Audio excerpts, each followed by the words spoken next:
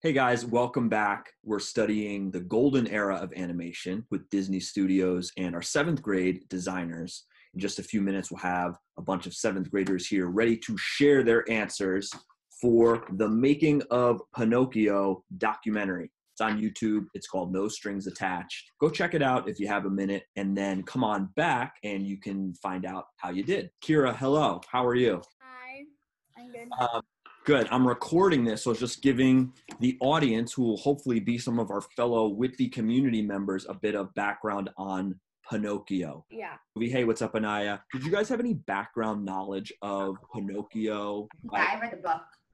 You've you've read the book? Yeah, I think I might have read. I've watched the movie when I was like three or something. Hey, Charlie, Brandon, Sachi, Ariana, Henry. How are you guys? If you don't want to say hello, you can just wave or nod or give me a thumbs up or something like that. And making sure you guys can hear me. Um, I want everyone to please take out their Pinocchio trivia, and it reads: "The making of Pinocchio, no strings attached." Answer key. Yep. Okay, cool. You guys are nodding along. Thank you very much. We're going to start with name that character. I'm going to ask Julian to help us out. Frank Thomas said he ended up as the heart of the story instead of being squished. Uh, Jiminy Cricket. Very good. Jiminy Cricket. Julian was telling me a moment ago he actually read the book as well. And in the original story, as you guys know from the documentary, Jiminy Cricket had a really small role. But in order to give the film some heart, they extended his role. Next up, I would like Vasilisa to please read this next one. Andreas Deja said the original character had a very geometric shapes and looked wooden. Uh, Pinocchio. Very good, Pinocchio. Yeah, they wanted to make him more likable, and the original version was just it was too geometric. It, it looked wooden and not not lifelike enough. But isn't the point he's supposed to puppet? Yeah, that's a really good point, Luca. We're trying. They were trying to find a balance of lifelike and puppet because his Okay. whole thing is he wants to be a real boy. That's kind of his goal. We're going to talk about who this group of animators named the Nine Old Men, which is like really famous group. We want to know who they looked up to. If Samantha could please read the question and give us the first answer, please. Um, what two star animators did the nine old men look up to? Uh, the first one is Bill Taylor. She's right. They say it really quickly in the doc. Here's the correct spelling for you guys. It's actually Bill Tytla. Thank you, Samantha. Um, Anaya, can you give us the next one here? Um, I got Art Babbitt. Yes, Art Babbitt. Very good. And Anaya also spelled it correctly. Who said it? Kira, if you could start with that first quote and tell us who said it, please. Um, Pinocchio is a book about mystery, morals, and improving stories. Brian something. She wrote Brian Sibley, which is the correct answer. There we go, Brian Sibley. He's like a historian of animation, and he kind of broke it down. What is this book all about? Charlie, if you can help us out and give us the next one. Pinocchio was kind of unlikable, a troublemaker. Frank Thomas. Yes, very good. Let's uh, ask Sachi for the next one. As usual with Disney, the casting was perfect. And I got Jerry Beck. Very good. Yeah, Jerry Beck, another famous animation historian. Yes, I'm here. Thank you, Josh. What year was, was cartoon short Mother Goose Melodies released? And I said 1931. Very good. 1931. Brandon, if you could help us out with the next one. Yes, my internet is not great. Okay, I'll read the question. You can just give us the answer, okay? What year was Yeah. was cartoon short King Neptune released? Phone a friend. You can ask someone else, maybe if they can help you out. Um. Yeah. Charlie, can you read that question and give us the answer? Uh, what year was cartoon short King Neptune released?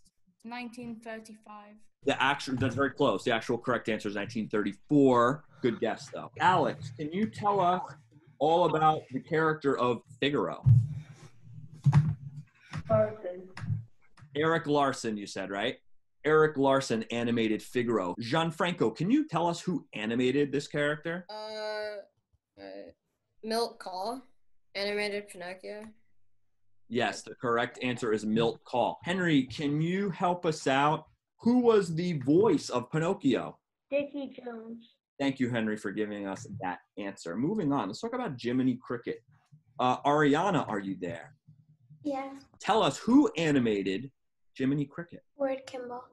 That is correct. Ward Kimball. Annika, who voiced Jiminy Cricket? Um, Cliff Edwards. Cliff Edwards was like a character actor back then. He was a voice that people knew. When they walked into the theater to see this, they were already familiar with that voice. It was like a really good choice. Luca, who animated Lampwick? My computer's like not loading. I I think I have it. Great. Uh, uh, Fred Moore. Very good. Fred Moore. They showed that this character, Lampwick, he kind of looked like the animator. Alex, you there? Yeah. Great. Can you please tell us uh, what song won an Academy Award in 1940? When you wish upon a star. He's abs. Oops. Oh, I did it out of order. He's absolutely right. Julian, can you tell us the name of the whale? Uh, the whale was named Monstro. He's right. Hey, Gianfranco, can you read this first one for us and tell us the answer? Go for it. Uh, 1934 was when um the cartoon music line was released. Very good. Now, Henry, are you there? Yes, I, I'm here, Mr. L. Cool. Can you read this one for us and tell us the answer? Because I saw you had that Year one. was, uh, what year was cartoon short the band concert released? The answer is 1935. Very good. So just one year later. Charlie, can you answer this bottom question for us, please? Yep, I'm here. Cool. What location in Pinocchio is associated with jazz music? Pleasure Island. And in the doc, it was interesting how they said, wow, the music totally changed. It all of a sudden became more jazzy to signify a new location and a totally different feel there as well. Okay, Annika got this one right. Who said it? Part two. The pinnacle of effects animation. Dave Bossert.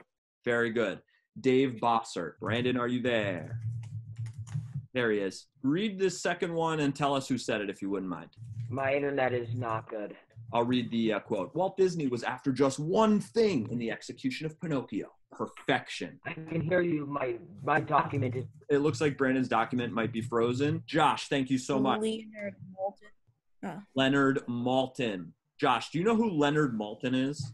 No, I, I just heard him say it in the.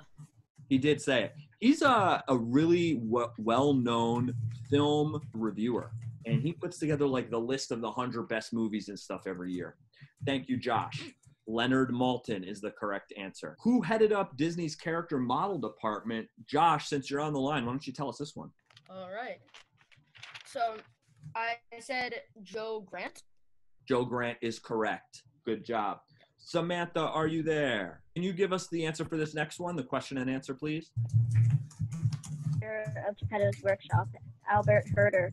Very good. Albert Hurter did all those little details in Geppetto's workshop. Anaya, can you read this next question and give us the answer as well, please? Uh, yes. So, who voiced both the coachman and the Stromboli? I said Charles. Yep, you cut out there at the end, but yes, you're right. It was Charles Judels. He did two totally different voices for the same movie. Moving on, animation, fill in the blanks. Only got a few left. Sachi, can you start us off with that first one, please? Um, for the morning in the village sequence, instead of shooting vertically down, they shot it horizontally.